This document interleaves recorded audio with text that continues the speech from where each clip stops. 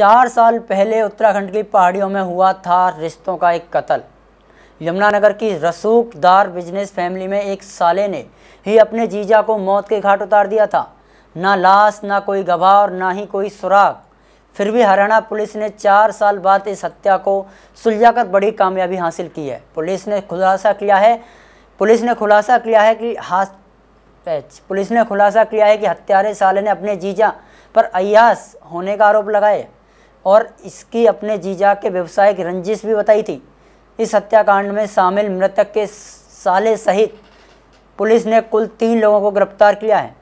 आज से चार साल पहले वो लोग बंसी लाल जो कि गायब हुआ था, उसको बहला फुसला के अपने साथ बिठा के एक योजना के तहत हिमाचल में ले गए थे, नैनीताल, जहाँ उसको एक साइट दिखाने का बहाना दिया गया था, क्योंकि ये लोग बेसिकली बिल्डिंग को लिफ्ट करने का काम करते हैं जैक के द्वारा।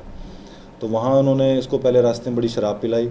शराब पिलाने के बाद जब वो पूरा नशे में चूर हो गया तो नैनीताल से थोड़ा सा पहले जहाँ काफ़ी गहरी गहरी खाइयाँ हैं, वहाँ उन्होंने गाड़ी को रोक के उसको नीचे उतारा और एक महावीर के पास एक इलीगल वेपन था पिस्टल उस पिस्टल से उसने तीन राउंड उसके सिर में गोली मारी और वो मौके पे उसकी मौत होगी और उसके बाद उसको पहाड़ी से ऊपर से धक्का दे दिया इन्होंने और पिस्टल को भी वहीं फेंक दिया है। तो इनकी पूछताछ के माध्यम से जब हमने पूछताछ की तो उनको गिरफ़्तार किया उन्होंने अपना डिस्क्लोज़ किया डिस्क्लोज़र किया पुलिस को, जिसके बिना भी उनको गिरफ़्तार करके आज कोर्ट में पेश किया था और हमने माननीय कोर्ट से दस दिन का पुलिस रिमांड मांगा था, जिसमें हमें माननीय अदालत ने सात दिन का पुलिस रिमांड दिया है।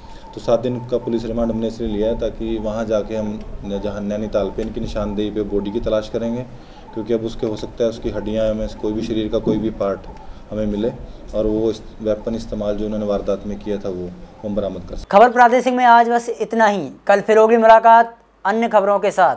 आज मुझे दीजिए इजाज़त। नमस्कार।